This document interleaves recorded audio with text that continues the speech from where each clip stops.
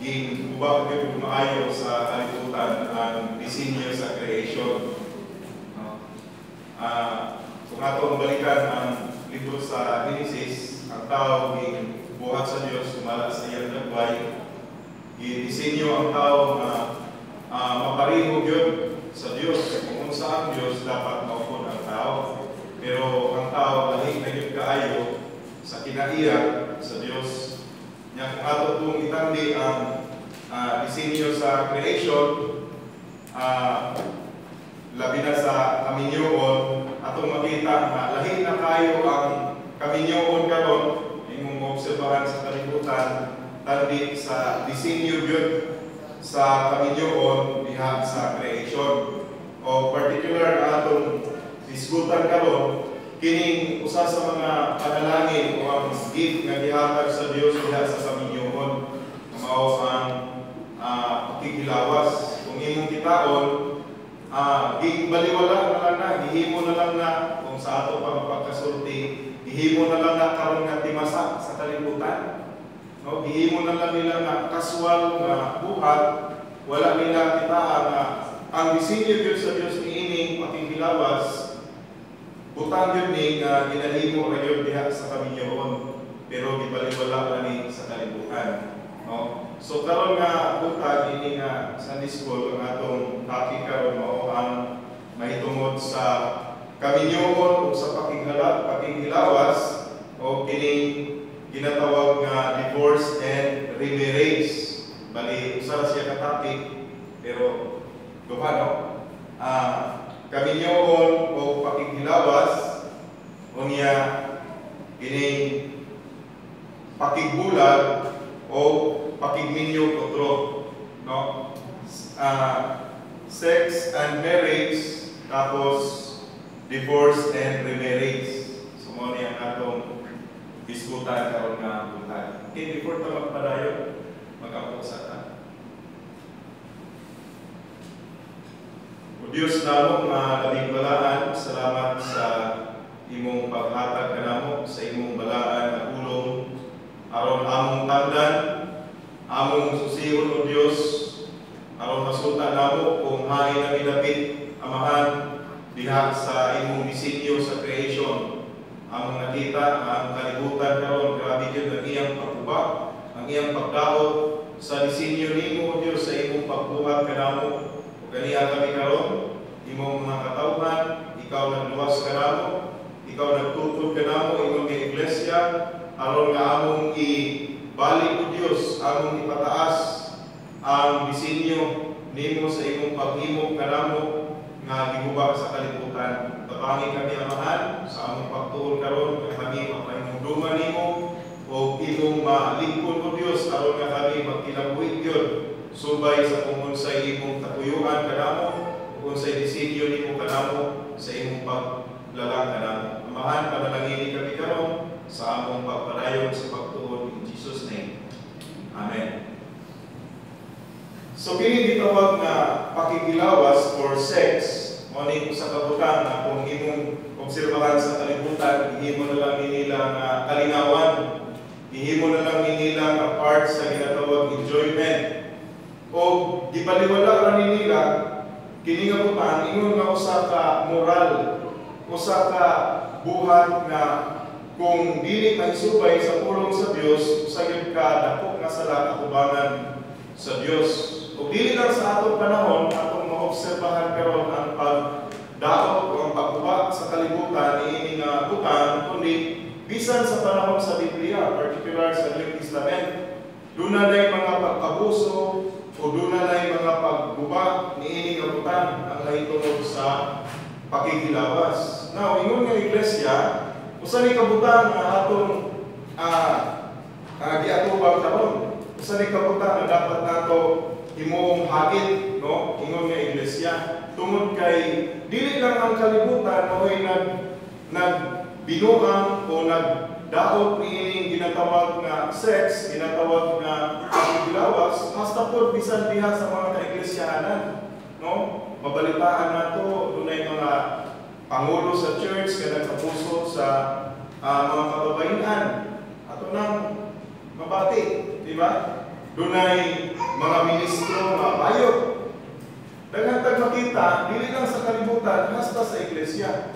Na usa ni ka ah, hagit ingon nga iglesia din sa Abuyo nga kung ingon ana ang kalibutan ug ang uban nga mga kaiglesiyahanan na hinaot nga ato ning barugan kung unsa gyud ang disenyo sa Dios niining butana. So kini nga butang dili dautan basta ibutang gyud siya sa iyang insakto nga lugar. Kung asa ang insakto nga lugar niining ginatawag pakikilawas. Atong natun-an ni atong miagi nga ang insakto nga lugar niini mao ang kaminyoon. Ug when in fact sa atong natunan ni atong miagi usa ni sa katuyuan nganong ang Dios nagtukod sa kaminyoon. Aron nga ah, panaligdan o ma-prevent ang Kristohanon gikan sa tentasyon sa pakikilawas. So mo gito gitukod niya na. Tungod kay ang tao naagid niya na nga desire, naagid niya na nga urge. Niya dili gusto ang Dios nga mapareho ra ta sa mga manana, mapareho ra ta sa mga hayop. Tungod kay kita gibuhat man sa dagway sa Dios, ang Dios nag-set gyud nato standard, moral standard bisan niining utanga. Mo na ang Dios nagtukod sa kaminyoon. Kay imagine daw kung walay walay kaminyoon, di ba? Sa tanang mga binuhat sa Dios, tao ra may iyang gininyo. Wa man minyo sa Dios ang mga hayop. Kuna-una daw kung walay kaminyoon, walay kalahian sa tao o sa hayop. Mo na ang Dios nagtukod og kaminyoon para kining butana iya ibutang sa eksakto nga lugar. So dunay moral standard ang Dios may tungod sa pakikilawas. Okay ho? Ah, dili lain sa inyo pamati no kining mag-islutan ni ining butana. Tungod kay realidad ni dapat nato islutan tungod kay ang Biblia nagtudlo ni ini. So, atong natunan nga ang pakikilawas mao'y usa ka buhat nga ira iya ra gyud sa mga minyo. No? So dunay lugar nga gibutangan sa Dios niining butangan. Niining pakikilawas. Pero unsay gihimo sa kalibutan, palito na ko, gihimo ra ning ilang timasa, gihimo na ra ning ilang kalingawan. Labi na ngadto sa mga ining ah, nag-progress na mga lugar, pareho sa Amerika, no? Uban nga mga dagko nga mga nasod. Gihimo ra ning nila na kalingawan wala nila tagda kung unsa gyud disenyo sa Dios niini ug asa gyud ang insakto nga lugar para niini. So dili kini angay sa mga dili mag-asawa. Klaro gyud na sa balaang kasulatan. Kini nga buhat dili gyud ni angay sa mga dili mag-asawa. Kung sa pagbadlong ni Pablo sa mga taga-Korinto, no? Ah, ako mong ah, imbitado sa pag-apply sa inyong mga Biblia sa 1 Corinthians chapter 6 verse 16 sa pagpadlo ni Pablo sa mga taga-Korinto sa ilang sala sa pakikilawas interesting kaayo kay iyang gigamit ang kamatuoran ay tungod sa pakigsaad sa kaminyoon no? Iyang giingon niya na ang dulo na mahimong usa. Aron iyang ipakita kung unsa kadautan ang pagpakighilawas ngadto sa usa ka tawo nga dili pinakaslan. Now, kita 1 Corinthians chapter uh, chapter 6 verse 16. Ako basahon na lang gikan sa verse 15 hangtod sa verse uh, 18. No? Ingon ni verse 15 to 18, wala ba kamo masayon nga inyong lawas mamabahin man ni Kristo? Na kumakon ko ba ang mamabahin ni Kristo aron pagahimuon nga mamabahin sa usa ka babae kautan? Palayo ka na. Wala ba kamo masayon nga siya nga nahilingkit ngadto sa babae kautan nahimong usa ka lawas uban kaniya kay sumala sa nagsulat ang duroha mahimong usa no Ikot ni Apostle Paul, kining covenant of marriage, ang ilang pagkahimong usa diha sa kaminyoon, aron nga padlumon ni Apostol Paul, ni Apostol Pablo, ang mga taga-Korinto mahitungod sa ilang sala sa pakighilawas. Verse 17, apan siya nga nahiusa ngadto sa Ginoo, nahimong usa ka espiritu uban kaniya. Likay ang pakighilawas. Ang tanan ubang sala nga pagabuhaton sa tao anahara sa gawas sa iyang lawas. Apan ang tao makihilawason nagapakasala batok sa iyang kaugalingong lawas. Kaya mga verses sa Biblia nga kinakondem gyud sa Ginoo kining pakikilawas nga wala sa eksaktong lugar. Pakikilawas nga wala diha sa lugar sa kaminyoon. So tigami, tinuod, no, na dili ang pakikilawas mo'y makapahimo sa duha ka mga binuhat ingon nga minyo.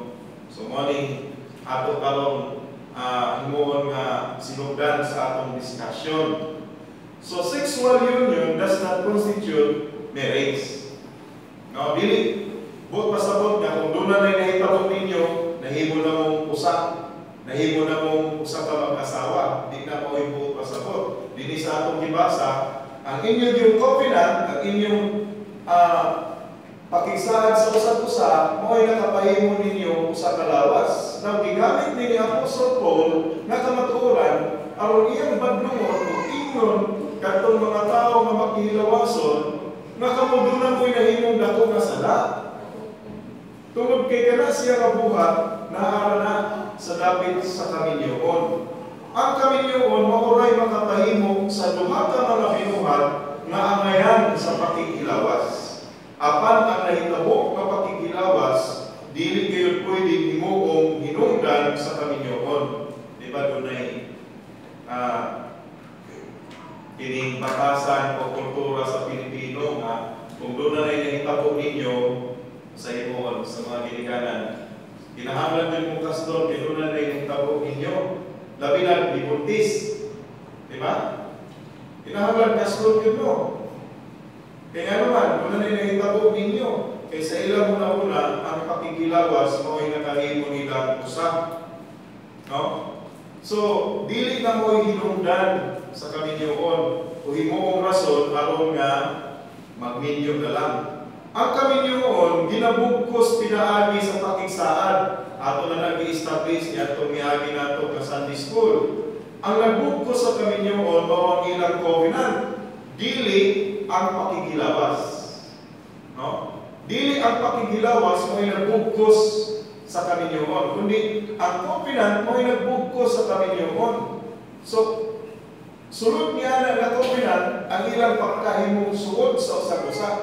O ang expression sa ilang pagkasuod sa usag-usa, mo ang pakikilawas. I hope na kuha ninyo. Ang kaminyoon ginabugkos dili sa pakikilawas kundi ang kaminyoon ginabugkos sa pakigsaad, covenant. Ug sulod sa mga pakigsaad, mao ang pagkahimong suod sa usag-usa. Ug ang expression sa ilang pagkahimong suod sa usag-usa, mao ang pakikilawas. Mao ang expression. Nang gigamit ni Apostol Paul kini nga kamatuoran aron nga kung imo gani dadkon kining pakikilawas gawas sa kaminyoon sa gid na kadako nga violation usagid na kadako nga salat at tubangan sa Dios kay iya nang libutang dito sa sulod sa kaminyoon. O di ka kung ingnon nga okay kay doon na may nahipabo minyoon na lang mo. No dili maski ang physical na sexual union dili gihapon na mo ay makahimo sa kaminyoon makabukos sa kaminyoon. No sa Biblia, atong makita nga lalaki o babae ginaisip na ikon nga minyo bisan wala pa mag-ipon tungod sa gihimo nga pakigsaan. No, sa Bible, doon ay kinatawag bitaw total. Mo nang ayahay mo karon mga young people kay pwede na mong makaapili sa inyong minyuhan. Pero sa una, ang kultura sa una, ang mga ginikanan mo ay mag-arrange sa kaminyoon. Apil sila sa sabot. Kunya, ang covenant, usually karon ang mga panahon, ang pakigsaan, ang covenant, ginahimo sa kasal. Di ba? Ginahimo sa kasal. Pero sa panahon sa Biblia, ang covenant, ginahimo dito pa lang sa pagbuya. Kabalo mo sa buya, kanang betrothal. Alay, for example, duha ka pamilya, nagsabot-sabot, kay ilan ang i-buya, ilan ang, kasi tawag na yung term sa buya, betrothal, ilan ang i-sabot-sabot nga kining imong anak o ang akong anak mo'y atong kasron. So before pa sa kasal, di na pa sa mga sabot-sabot, doon na na ginahimo ang covenant. Sa Bible times, bisan wala pa ang kasal, basta human naghihimo ang pakigsaan, ang covenant, ang sabot-sabot, diha sa betrothal, kanak sila ginaisip na ng inyo. Wala pa yung nahitabo nga physical contact, wala pa yung pakikilawas. Muna yung ato makita sa Bible. Wala pa yung pakikilawas, pero ginaisip na namin nyo tungod sa covenant.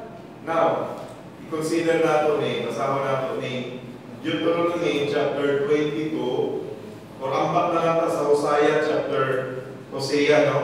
Chapter uh, 2 verse 16. Hindi na lang niya diretso sa verse 19. Hindi na lang nato basahon na lang para masave nato ang time. Mahuman nato ni. Okay, akong basahon verse 16, Hosea chapter 2, O mahitabo niadtong adlaw miingon si Jehova, nga ikaw magatawag ka nako nga is bana ko o dili na magatawag nga baali agalon ko. Manaingon sa Ginoo, no? Magatawag ikaw ka nako Kamu nga mga katawan sa Diyos, kamu nga mga katawan nako, bana ko, akong bana. No? Unya, ako dili na ka magtawag nako mga agalon ko. Pero kita ka sa verse 19. Kita ka sa verse 19. O ikaw, katong iyang giingnan, nga mutawag ka na nako nga bana. O ikaw, pangasawon ko, nga kanako gayon sa walay katapusan. Oo, ikaw pangasawon ko, nga kanako gayon sa pagkamatarong ug sa hospisya, ug sa may ugmaong kanulot, ug sa mga kaluoy. Now, kung imong kitahon din ang pattern, wala pa ang kasal, wala pa ang pagpangasawa, pero dito pa lang sa covenant, ingon ang ginoo, tawagon mo na ako nga bana. Natukod na ang kaminyoon. So, inyo pa na masabtan kung inyong basahon ni nga mga upang mga text nga naka-flash din eh. So, tungod ni ini, ang pakikilawas nga may tabo tapos sa buya or sa betrothal, okay? Tungod sa pakigsaa diha sa betrothal, bisag wala pa'y kasal, ginaisip na ingon nga usa ka pagpanapaw, bisan wala pa'y pakikilawas nga naitabo sa mga gibuya o sa mga betrothed. Okay? So, naana karon ng lalaki o babae, gibuya na sila, betrothed na sila, nga sila'y magninyongay. Diha pa lang sa sabot-sabot, diha pa lang sa covenant, ginaisip na sila ng mag-asawa. Maunay sistema sa panahon sa Biblia. Now, anong ginaisip man sila ng mag-asawa? Wala pa'y pakikilawas nga nahitabo. Wala pa'y physical nga paghilabtanay nga nahitabo. Pero giisip na nga mag-asawa. Kung sa'y nakapahimo sa ilang nga mag-asawa, nga mga minyo, ang covenant. Wa pa ang kasal. Now, kung doon na ganing mahitabo diha, like for example, si Bulano o si Bulana, no? Giguya sila, pag umagbuya, giset ang ilang kasal, umagbuya. So diha niya nga period, di pa sila maghilap kanay. Okay, wala pa yung sexual nga pagaymoon. Pero kung ang usa nila makikilawas sa laking nga babae o laing nga lalaki, pag-aisipon na siya nga pagpanapaw, adultery. Ginaisip na siya sa Biblia nga adultery. Nga naman, tungod kay sila minyo nga, bisag wa pa'y sexual intercourse nga nahitabo. Bisag wa pa mahitabo ang formal nga kasal. Tungod kaya nagbukos sa kaminyoon mao ang pakigsaad sa usa-usa. Now try to uh, look at ini nga text. Deuteronomy chapter 22, 22 to 29. Akong basaron na, obserbahin ninyo. Kung may tao na hidakpan, nga miigda sa usa ka babae nga minyo sa usa ka bana, silang duha mga matay ang lalaki nga miigda ipon sa babae o ang babae mao kini ang mao kini ang pagkuha mo sa daotan gikan sa Israel. Now, verse 23. Kung adunay batanon nga babaeng ulay, no? Wa pa mahilabti, nga kasunod sa usa ka pamanunon, bitruten na siya, gibuya na siya, kinibayhana ato sa usa ka lalaki, ug ang usa ka lalaki, makahibalag kaniya sa bungsod, dunay laing lalaki nga iyang naila-ila, ug muigdaipon kaniya, makikilawa sila sa usa-usa, dili sa usa ka lalaki nga gibuya kaniya, ingon ni nan verse 24 pagkadad-an niyo silang duha o nan pagkadad po ninyo silang duluha sa pultahan ni atong lungsura o pagalabayan ninyo sila sa mga bato hangtod sa kamatayon. Ang batanon nga babae kay wala siya magsinggit nga niaman siya sa lungsod o ang lalaki kay nagpakaulaw siya sa asawa sa iyang isikataw. Mao kini ang pagkuha mo sa daotan gikan sa taliwala mo. Apan kung ang tao makakapla dito sa kapatagan o sa kapatagan nga babae na kasunod, kasunod, gibuya na. O ang tao magalukos kaniya o muhigdaipon kaniya, niini ang lalaki lamang ang mamatay kay ihigda siya ipon kaniya. So kung girate, why sala ang katong babae nga girate, ang pakyo katong ng lalaki, katong ng rape. Apan sa batanon nga babae, wala kaing pagkabuhaton. Walay sa iyo ang batanon nga babae nga angay sa kamatayon. Kay ingon nga may tao nga magatindog batok sa iyang isikatao o magapatay kaniya, mausap kini sama niya na. Kay iyang hingkaplagan siya sa kapatagan ug misingwit ang batanon nga babae nga kastunon o walay bisan kinsa nga nakatabang kaniya. Di lang natuto sa atong pagbasa sa text. So, din ang mga tuuran nga bisan wala pa'y uh, pakikilawas nga naitabo sa duha nga gibuya tungod sa pakigsaan nga nahimo diha sa betrotal sila ginaisip na ninyo. So, balik ko na po. Ang nagbukos sa kaminyoon, dili ang pakikilawas, kundi ang pakigsaan. Mao bitaw mananong dako gyud kayo nga sala ang pakikilawas sa usa-usa o sa isig ka tao nga dili ninyo o wala may pakigsaan sa usa-usa. So ang punto lang nato ini nga kamatuoran. Ang pakikilawas tali sa duha ka mga tao nga walay nagkukos nga pakigsaan sa usa-usa diha sa kaminyoon Mao usa ka dakong sala batok sa balakog sa Dios. Ug when in fact hindi nga mga text kini nga buhat usa ni sa mga listahan ni atong mga buhat nga kandidato sa impyerno. No? Balik ko na po. Ang pakigilawas tali sa duha ka mga tao nga walay nagbugkos nga pakigsaad sa usa-usa diha sa kaminyoon Mao usa ka dakong sala batok sa Dios. Mao na nga kung dili ni hinulsulan, dili ni tarungon, dili ni idol, dili ni pahiluna, kung wala kay plano nga ipahiluna ni dalgon ni ngadto sa uh, pakigsaan, dalgon ngadto sa usa ka covenant, kung dili gyud ni work out, inubanan sa paghinulsol, mao ni pahayag sa Biblia. Okay? 1 Corinthians chapter 6, 9 to 11, Nasayod ba kao nga ang mga dili matarong, dili makapanunod sa gingharian sa Dios? Ayaw ka mo pagpalingkong, walay makihilawason. So, usa kini sa mga listahan, makihilawason. No? So sa definition din sa mga makilawason, katong gihimo na niyang timasa ang sex. Katong naghimo niya na gawa sa kaminyoon, wala niya ibutan sa insakto nga lugar ang mga pakikilawas.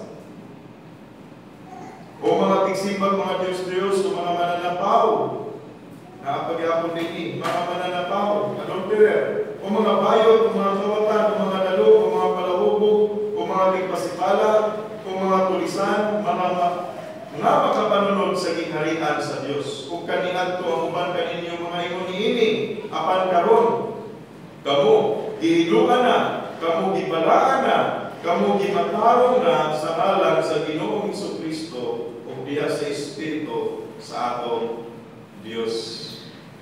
So seryoso ni nga utang, no? Ug man sa katutang na ipataas nato ingon nga ka iglesia kay si Ginoong Jesus nagtukod siya sa iyang gingharian din is kalibutan. O ang church mo iyang gingamit na mo magpakita sa iyang kabutukod, magparehag sa iyang moral standard. Ug nakita nato kung ginunsa sa kalibutan ang standard sa moral nga gitungkol sa Dios. No, kung yun ana ang gihimo sa kalibutan, lahiyon nato ingon nga usa ka Kristohano, ingon nga usa ka iglesia. No? Ila na lang ni kibaliwala, ila na lang ni kiduwa-duwaan, when in fact ila pa ni ipakambok. No, ila pa ni ipasikat. Ginawa nga lahiyon nato pagtanaw kini ginatawag sex kami niyoon or I mean pakikilawas ato ni siya ibutang sa iyang eksakto nga lugar nga mao ang kaminyoon. So kung kabutang nga angay nato isgutan karon not only kini ginatawag uh, kaminyoon o pakikilawas, I hope tinaw na, na sa inyo, I hope maklaro na, na sa inyo nga ang kaminyoon ginabugkos ko siya pinaaging covenant, pinaaging pakigsaan, o sulod niya ng mga mga pakigsaan, mga pagkasuod sa usa-usa, o ang expression sa pagkahimong suod sa usa-usa, ang pakikilawas. Therefore, ang pakikilawas naaaring siya sulod sa kaminyoon. Igawas gani na nimo usara kadako nga pagsupak sa balaod sa Dios. Once igawas na, mo na gihimo karon sa kalibutan. Ibalik nato ang pakikilawas diha sa iyang insakto nga lugar.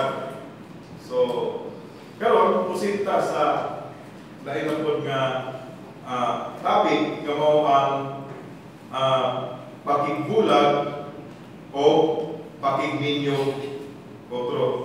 So sa ni kabutan nga anay natong isgutan may tungod sa atong pagtuon sa kaminyoon kining divorce and remarriage.